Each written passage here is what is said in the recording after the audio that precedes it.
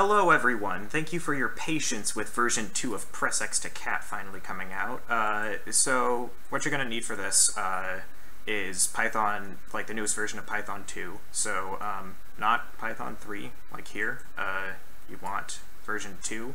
Uh, currently I have 2.7.13 installed, not 14, but I'm not going to go through that because it'll, it'll work either way.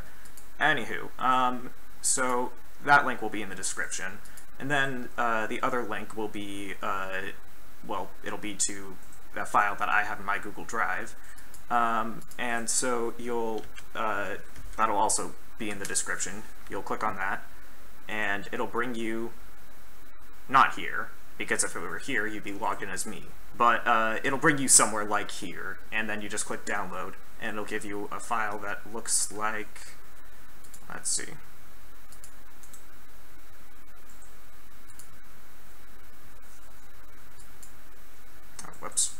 So it'll be a zipped file.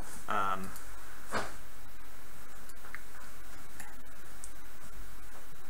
most of you know, uh, just to extract it, you just click extract all. And then, so now we go here, click on main.py, and now you get a box. That's got some credits and blah blah blah. Um, and then every half second your keyboard, or actually I changed to 0.3 seconds, your keyboard is updated with a new cat fact, or clipboard, excuse me. Enjoy spamming that in Overwatch.